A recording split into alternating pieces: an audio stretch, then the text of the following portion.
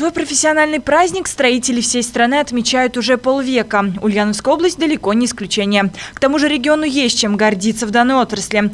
Так, из года в год высокими темпами движется жилищное строительство. Если в 2013 году в эксплуатацию ввели 634 тысячи квадратных метров, то к концу прошлого года цифра увеличилась до 967 тысяч. В области активно ведется и строительство социальных объектов. Наряду с этим действует комплекс специальных мер по улучшению жилищных условий граждан. В регионе действует программа губернаторской ипотеки, в которой мы э, софинансируем первоначальный взнос по ипотеке э, от 100 до 150 тысяч рублей. Э, в регионе действует программа предоставления жилья детям-сиротам. Ежегодно порядка 150-200 детей мы предоставляем новое благоустроенное жилье. В регионе действует программа переселения граждан из аварийного жилья. Накануне Большой зал Ленинского мемориала собрал представителей самой созидательной профессии. Поздравить виновников торжества с Днем строителей пришли первые лица города и области.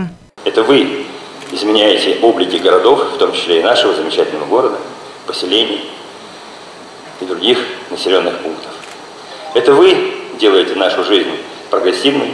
Сколько всего настроено в Ульяновской области за последние годы. Какие промышленные объекты, какие заводы, жилые сооружения. Поэтому от всей души огромная вам за это благодарность и низкий поклон. Прямо со сцены чествовали лучших работников. Здесь же подвели итоги традиционного конкурса на лучшую строительную организацию. Среди победителей фирма с 70-летней историей «Ульяновск Граждан Проект». Переходящее знамя в их руки попадает уже в пятый раз. Так уж исторически сложилось, что наша организация проектная, она является самой крупной в нашем Ульяновском регионе. И самые, соответственно, высокие показатели даем мы. Ну, надеюсь, что должным образом мы были этим отмечены, чем и заслужили данное знамя. Поздравить ульяновских строителей также приехали артисты. После торжественной части на сцену вышли солисты легендарной советской музыкальной группы «Синяя птица».